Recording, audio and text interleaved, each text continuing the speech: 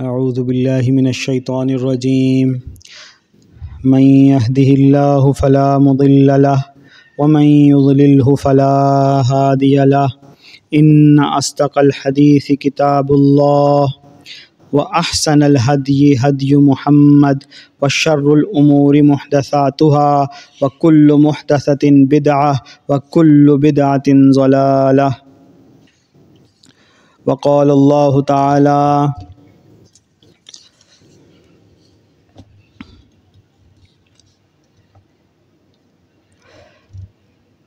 هو الله الذي لا إله إلا هو، عالم الغيب والشهادة، هو الرحمن الرحيم، هو الله الذي لا إله إلا هو، الملك القدوس، السلام المؤمن المهيمن العزيز الجبار المتكبر، سبحان الله عما يشركون. هو الله الخالق البارئ المصور، له الأسماء الحسنى، يسبح له ما في السماوات والأرض، وهو العزيز الحكيم. اے حکمرانوں، آج کے دور کے فرعونوں، یہ سن لو کہ جس رب کی طرف میں تمہیں بلاتا ہوں اور جس رب نے محمد قاسم کو امام المہدی کے منصب پر فائز کرنے کا فیصلہ کر لیا ہے، وہ رب سورج کو مشرق سے نکالتا ہے۔ اگر تم خدائی کا دعویٰ کرنے والے ہو، تو سورج کو مغرب سے نکال کے دکھا دو۔ اگر تم خدائی کا دعویٰ کرنے والے ہو، تو یہ ملک بھر میں ہونے والے دہشت گردی کے حملوں کو روک کر دکھا دو۔ اگر تم خود کو لوگوں کا لوگوں کا پیشوا سمجھتے ہو، لوگوں کا نجات دہندہ سمجھتے ہو، تو ان سیلابوں کو ڈیم بنا کے روک کے دکھا دو۔ اگر تم لوگوں کا خدا خود کو سمجھتے ہو یا لوگوں کو اپنی طرف آنے کی دعوت دیتے ہو، تو یہ ان بارشوں کو، طوفان کی سختیوں کو، لینڈ سلائڈنگ کو روک کے دکھا دو۔ ان دہشت گردی کے حملوں کو روک کر دکھا دو۔ ان بم دھماکوں کو روک کر دکھا دو۔ اس اکانومی کے مسئلے کو روک کر دکھا دو۔ وہ رب تو وہ ہے کہ جو ہمیں کھلاتا بھی ہے، پلاتا بھی ہے، اسی نے ہمیں پیدا کیا، لوٹ کر ہم نے اسی کے پاس جانا ہے۔ اس کے علاوہ کوئی عبادت کے لائق نہیں، اس کے علاوہ کوئی پروردگار نہیں۔ اس کے علاوہ کوئی کھلانے پلانے والا نہیں۔ وہ حکیم ہے، وہ عزیز ہے، وہ غفار ہے، وہ ذل قوت المتین ہے۔ اور وہ اپنے بارے میں خود بتا رہا ہے صورت الحشر میں کہ لا الہ الا ہو اس کے علاوہ کوئی عبادت کے لائق نہیں۔ الملک، وہ بادشاہ ہے۔ القدوس بہت ہی مقدس ہے۔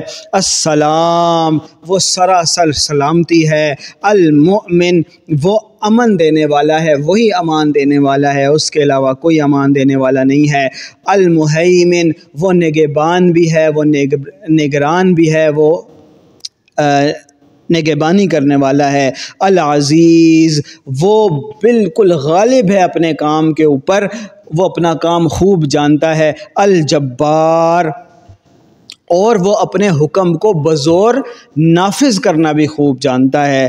المتکبر، اور صرف اسی کی شان ہے کہ وہ اپنے آپ کو بڑا سمجھے۔ اس کے علاوہ کبر، تکبر، بڑا سمجھنا کسی کو جائز نہیں۔ سبحان اللہ عما یشرکون، وہ پاک ہے۔ ان تمام چیزوں سے، ان تمام جھوٹے خداؤں سے جو لوگوں نے بنائے ہوئے ہیں۔ کوئی عمران خان کو آخری امید سمجھتا ہے، کوئی پاک فوج کو نمبر ون سمجھتا ہے۔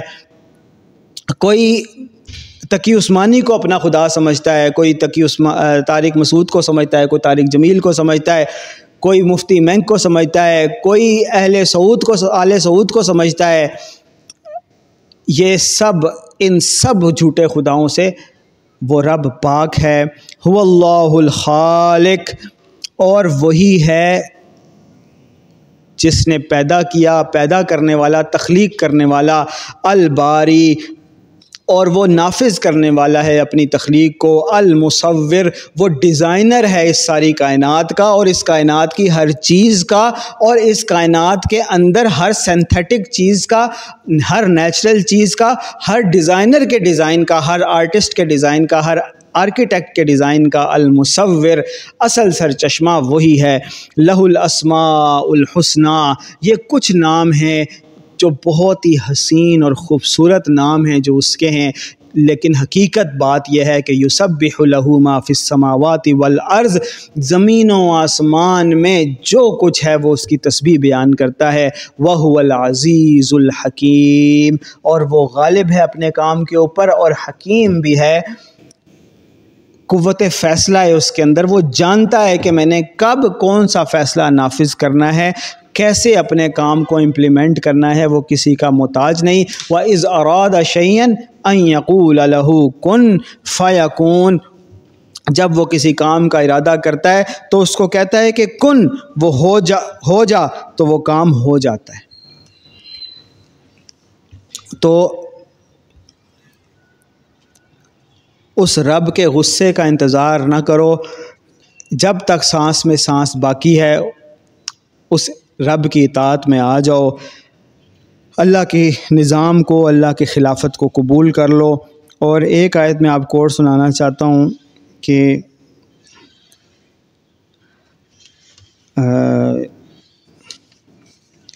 امن تم منف السماء یخصف بکم الارض فیضا ہی تمور۔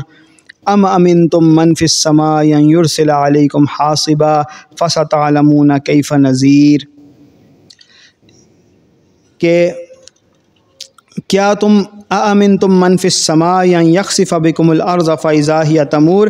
کیا تم اس بات سے بے خبر ہو گئے ہو کہ منف سما یا یکصف بکم الارض کہ وہ آسمان والا تمہیں زمین کے اندر دھسا سکتا ہے؟ ام امن تم منف السماء یا یرسل علیکم حاصبا، یا وہ تمہارے اوپر کوئی آندھی یا طوفان بھیج سکتا ہے وہ آسمان والا، کیا تم اس بات سے بے خبر ہو گئے ہو؟ کتنوں کے ساتھ اس رب نے پہلے بھی یہ معاملہ کیا، آئندہ بھی جب چاہے وہ کر سکتا ہے۔ وہ وقت آنے سے پہلے پہلے، اے قوم والوں اے حکمرانوں، آج کے دور کے فرونوں پاکستانی ہو یا غیر پاکستانی فورنر ہو یا لوکل ہو، دیسی ہو یا ولایتی ہو امریکن ہو یا پاکستانی ہو انگلش بولتے ہو یا اردو بولتے ہو فرینچ بولتے ہو یا فارسی بولتے ہو، تمام دنیا کے انسانوں کے لیے موقع ہے کہ اس سے پہلے کہ بہت دیر ہو جائے، جو ان عذابوں کا شکار ہو کر اس دنیا سے گزرتا گیا، مرتا گیا، وہ اس کے لیے توبہ کا دروازہ ہمیشہ ہمیشہ کے لیے بند ہو چکا۔ جس کے سانس میں ابھی بھی سانس آ رہا ہے، اس کے لیے اب بھی موقع ہے۔